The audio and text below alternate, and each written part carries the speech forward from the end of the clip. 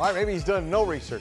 But moving on, love the Twitter. Today, according to his Twitter account, and I love how we're going to Twitter, Central Catholic standout Jase Bowen received an offer to play football at Michigan State. Now, ever since he committed to play baseball at Notre Dame, his football recruitment has spiked.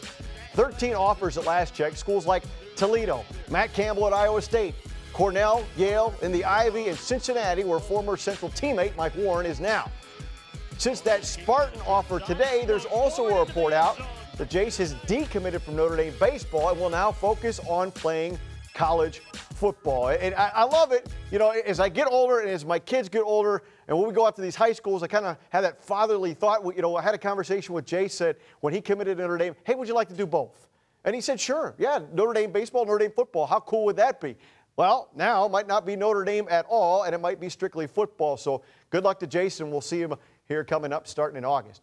Uh, actually, even sooner for baseball.